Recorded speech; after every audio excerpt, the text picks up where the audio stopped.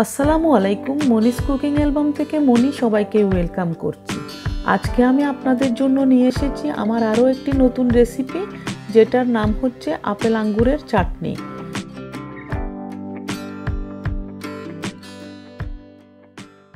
এখানে আঙ্গুর নিয়েছি পাঁচশো গ্রাম।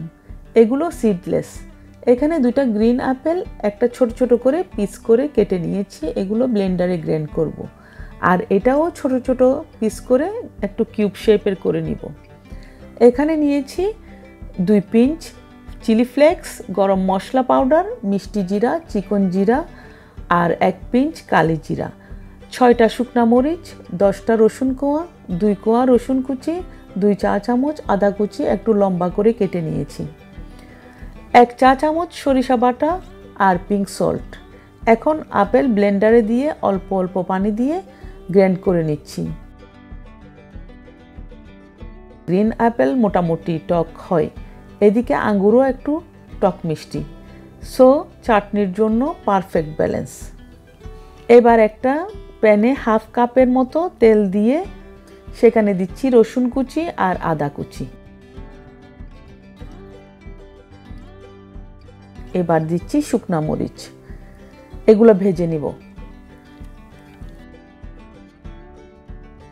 শুকনা মরিচ এখন কালার চেঞ্জ হয়ে এসেছে উঠিয়ে নিচ্ছি এবার মিষ্টি জিরা, চিকন জিরা আর কালি জিরা, এগুলো একটা ছাঁকনিতে দিয়ে ধুয়ে নিয়ে সেগুলো তেলে দিচ্ছি। এখন দিচ্ছি চিলি ফ্লেক্স। এটা পাটালি গুড়, এটা আগে দেখাতে ভুলে গিয়েছিলাম, এখন তেলে দিচ্ছি। কেউ চাইলে গুড়ের পরিবর্তে চিনিও ব্যবহার করতে পারেন। এখন দিচ্ছি আপেল কিউব। দিচ্ছি গ্র্যান্ড করা আপেল। ভালো করে নাড়াচাড়া করে এবার দিচ্ছি সরিষা বাটা। ভালো করে নাড়াচাড়া করে দিচ্ছি। আর এখন দিচ্ছি পিঙ্ক সল্ট এবার ঢাকনা দিয়ে রাখছি তিন মিনিটের জন্য। এখন আবার নেড়ে চেড়ে দিচ্ছি, দেখেন গুড়টা ছোট, গলে ছোট হয়ে যাচ্ছে। এখন দিচ্ছি গরম মশলা আর দুই পিঞ্চ সাদা গোলমরিচের গুঁড়া। আর গুড়ের কারণে কালারটা খুব ইয়াম্মি লাগছে দেখতে। আর টেস্টও ডাবল হবে। আর খুব সুন্দর একটা ঘ্রাণও বের হয়েছে। এখন দিচ্ছি আস্ত রসুন। আবার এক মিনিট ঢাকনা দিয়ে রেখেছি। এখন দিচ্ছি আঙ্গুর। আবার একটু এভাবে উল্টিয়ে পুলটিয়ে আরও একটু পিঙ্ক সল্ট দিয়ে ঢাকনা দিয়ে রেখেছি এক মিনিট।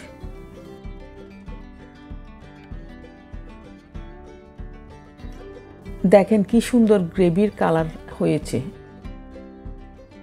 এখন দিচ্ছি ভাজা মরিচ। এই পর্যায়ে আর বেশিক্ষণ রান্না করলে আঙ্গুর গলে যাবে। সেক্ষেত্রে টেস্ট টেস্টও কমে যাবে। সো আমি এখনই গ্যাস অফ করে দিচ্ছি। এই চাটনি ফ্রিজে রেখে কমপক্ষে আপনারা এক মাস খেতে পারবেন।